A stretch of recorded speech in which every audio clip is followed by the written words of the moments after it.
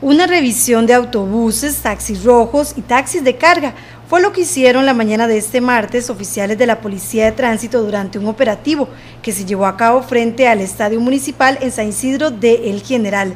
Según los oficiales, hay un buen cumplimiento de estas unidades con respecto a la ley.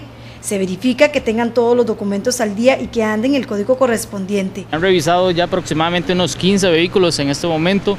Eh, transporte público normalmente acá en Pérez de León anda un poco bien. Eh, no, se les revisa lo que es implementos de seguridad, extintor, triángulo, chaleco. Hemos revisado eh, también lo que es el código, ¿verdad? Las personas de transporte público actualmente tienen que andar el código visible Em, y ahorita tuvimos un problemita ahí un poco tedioso con uno de los conductores que no lo andaba. Eh, uno de los compañeros en apariencia le va a realizar un informe ahí, entonces eh, eso es posteriormente, pero eso se maneja administrativamente. En realidad el resto de lo que es ley de tránsito como tal eh, andan bastante bien. Em, aparte de eso, cinturón y las personas eh, respetan mucho ese tipo de transporte. Una de las mayores faltas que cometen es conducir sin el cinturón de seguridad. Muchos de ellos no andan cinturón.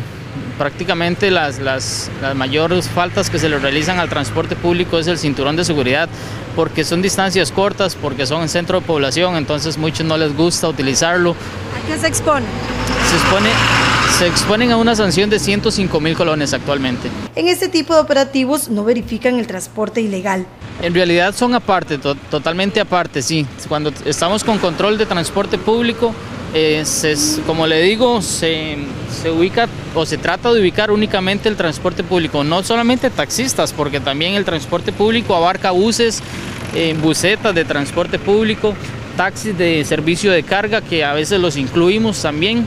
Em, y así, ¿entiendes? No solamente lo que es transporte eh, de la, la marea roja que llaman, ¿verdad?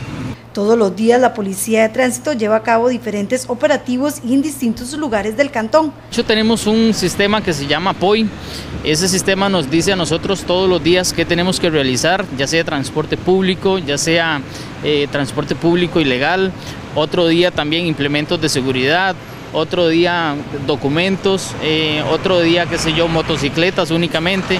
Entonces, sí se especifica un poco ese tipo de control, pero digamos, si pasa cualquier otra eh, situación en especial eh, con otro vehículo, qué sé yo, que estemos el día de hoy en transporte público y pase un vehículo particular sin cinturón o una cosa así, entonces se sanciona, o sea, se, se, estabiliza un poco lo que es el tipo de control pero eh, las demás personas también están exentas, no están exentas, sino que también se les realiza la sanción correspondiente.